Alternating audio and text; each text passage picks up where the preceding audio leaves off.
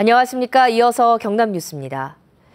경상남도와 도교육청이 학교급식비 지원에 대해 오늘부터 새롭게 논의를 시작합니다.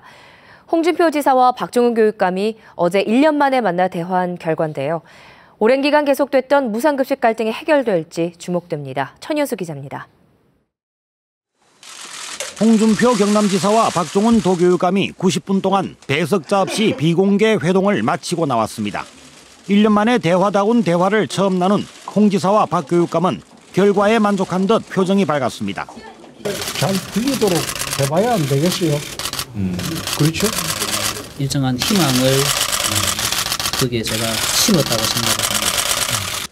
양대 단체장 회동의 가장 큰 성과는 학교 급식비 지원을 원점에서 논의하기로 한 것입니다. 양측은 협의를 위한 실무진 구성을 즉각 시작했습니다. 급식비 지원에 관한 문제는 내일부터 실무진에서 본격적으로 협의하기로 한다. 이거 실무진은 요 내용에 따라서 다시 협의를 해가지고 추진할 계획입니다. 실무기구에서는 학교 급식에 대한 도와 시군의 예산 지원, 급식 지원 대상자 등을 논의합니다. 논의 결과에 따라 내년도 예산안에 편성된 도와 시군비 305억 원이 조정될 수도 있습니다. 지난해 도교육청에 대한 도청의 학교 급식비 감사로 시작된 갈등이 1년을 넘겨 풀릴 계기가 마련된 것입니다.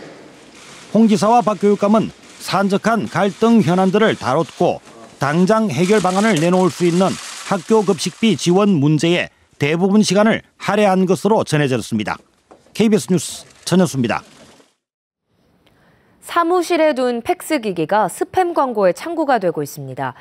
하루에 수차례 들어오는 불필요한 팩스로 종이 낭비, 잉크 낭비는 물론 업무까지 방해받고 있습니다. 보도에 손원혁 기자입니다. 거래처와의 주문서 등을 팩스로 주고받는 한 제조업체 사무실. 밤사이 들어온 팩스가 대출 상담 광고입니다. 매일 들어오는 스팸 팩스에 업무 지장까지 느낍니다. 해당 금융사의 수신 거부를 말해도 번호를 달리해 들어오기 일수. 팩스가 오긴 했는데 기다리고 있으면 이 팩스가 들어와요. 그래. 예, 그게 우연히 그런 경우가 굉장히 많아요. 이게. 네, 황당합니다. 관공서는 더합니다. 창원시청의 한 사무실에서만 스팸 팩스가 하루 10장 안팎이 들어옵니다.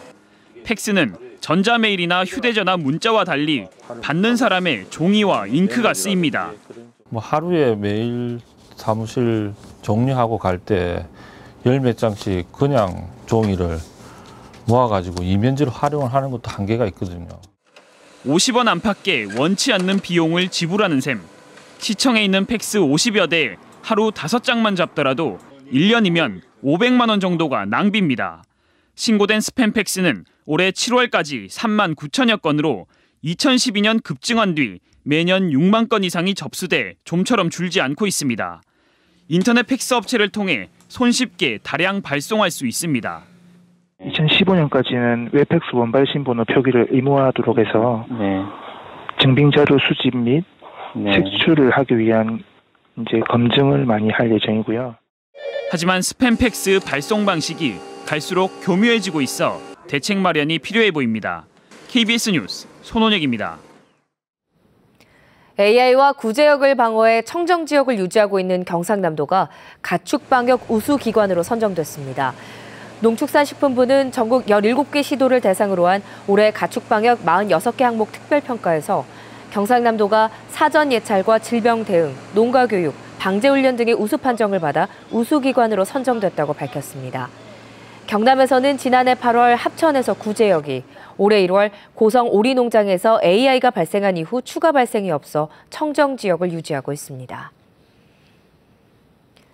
국립농산물품질관리원 경남지원은 쌀 수확기에 묵은 쌀을 햅쌀과 혼합하거나 거짓 표시에 유통하는 행위를 연말까지 특별 단속합니다.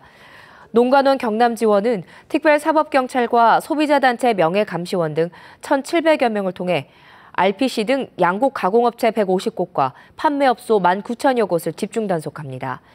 특히 이번 단속에서는 DNA 분석과 신선도 감정 등 첨단 과학 기법을 활용해 쌀의 원산지와 생산 연도 거짓 표시 등을 가려낼 계획입니다.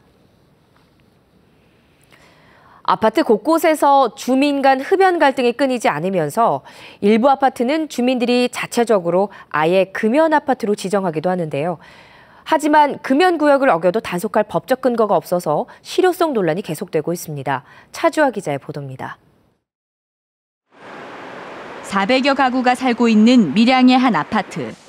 주민들이 자유롭게 쉴 수 있는 야외 쉼터에 금연 표지판이 붙어 있습니다.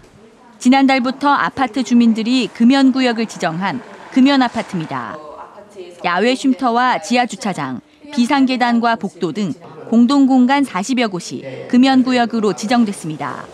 복도층에서 많이 피우니까 세대 간에 그 연기가 올라가고 하니까 서로 싫어하는 분들이 많았지. 이걸 정하고 난 다음부터는 아, 민원이 한 절반 정도 이하로 실제로 국민권익위원회에 신고된 아파트 흡연 갈등은 지난 4년 동안 천여 건에 달했고 계단과 복도나 지하 주차장 등 공동 공간에서 일어난 흡연 갈등이 10건 중 4건으로 나타났습니다. 이에 따라 금연 아파트 지정이 늘고 있지만 주민 자체 운영이다 보니 금연 구역을 어겨도 제재하기 어렵습니다. 각개 동앞에 붙이는 현판, 예, 그 정도로 지원을 해드리고 있고 조례상으로 경기도처럼 지정이 돼 있는 상황은 아니기 때문에 저희 단속원님들이 나오셔서 단속을 하기에는 좀 불가능한 부분이 있고요. 지난달 경기도가 전국 처음으로 금연 아파트에서 흡연하면 과태료를 부과하는 조례를 지정했지만 아직까지 적용된 아파트는 없습니다.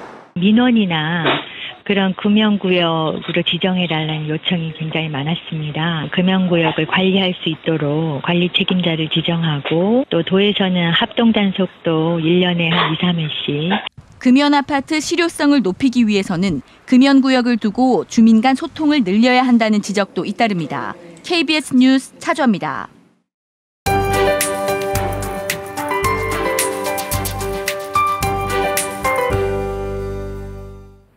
오늘 아침 더욱 쌀쌀해졌습니다. 최저 기온은 10도 안팎까지 내려가면서 서늘해진 모습인데요.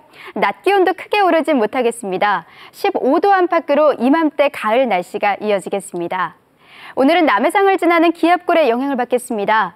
구름만 다소 지나겠지만 빗방울이 떨어지는 곳도 있겠습니다. 동부 지역입니다. 현재 밀양 11도, 창원 10도로 시작해서 한낮엔 김해 16도, 창녕 15도로 어제보다 조금 높겠습니다. 서부 지역도 기온 자체는 오름세를 보이지만 공기는 여전히 차갑습니다. 진주 14도, 거창 13도로 예상됩니다. 또 비사식이 잦은 만큼 대기질은 한층 깨끗해졌습니다. 미세먼지 농도는 좋음 수준까지 오르겠습니다. 바다의 물결은 모든 해상에서 최고 4m까지 높게 일겠습니다. 또 너울성 파도가 방파제나 해안 도로를 넘는 곳이 있겠습니다. 내일 아침 다시 비 예보가 들어와 있습니다. 비가 그친 뒤에는 기온도 점차 내려가겠고 한층 쌀쌀해지겠습니다. 기상정보였습니다. 창원 상공회의소 조사 결과 올해 3분기 창원시 신설 법인 수가 지난해 같은 기간보다 45개 증가했습니다. 2015 중소기업 품질혁신 전진대회에서 주식회사 성우 이상길 대표이사가 최고영예인 은탑 산업훈장을 받았습니다. 농협 김해 농수산물 종합유통센터가 개점 10주년을 맞아 오늘부터 오는 29일까지 특별 할인전을 합니다. 두산중공업이 국내 처음으로 석탄 화력을 바이오매스 발전소로 바꾸는 영동 화력발전소 연료전환 사업을 수주했습니다. 축구 발전에 이바지한 고 전영두 전 경남축구협회장의 업적을 기리는 생활체육축구대회가 처음으로 열립니다. 수국 전형두 축구장학재단이 마련한 이번 대회에는 17개 시군에서 34개 팀, 천여 명이 참가해 오는 주말과 휴일 이틀 동안 마산 종합운동장 등에서 경기를 치릅니다. 고 전영두 회장은 경남축구협회장과 경남FC 대표이사를 역임하며 무엇기 축구대회 창설과 경남FC 창단, 창원축구센터 유치 등 축구 발전에 이바지했습니다. 10개 학교를 선정하는 내년도 행복학교 모집에 43개 학교가 응모했습니다. 경남교육청은 앞으로 1차 계획서 심사와 2차 현장 실사, 면담을 통해 최종 10개 학교를 선정합니다. 경남형 혁신학교인 행복학교는 교육공동체 구성원이 함께 만들어가는 배움과 협력이 있는 미래형 학교로 공교육 정상화 모델과 배움 중심의 새로운 교육 문화를 만들어갈 것이라고 교육청은 설명했습니다. KBS 뉴스를 마칩니다. 고맙습니다.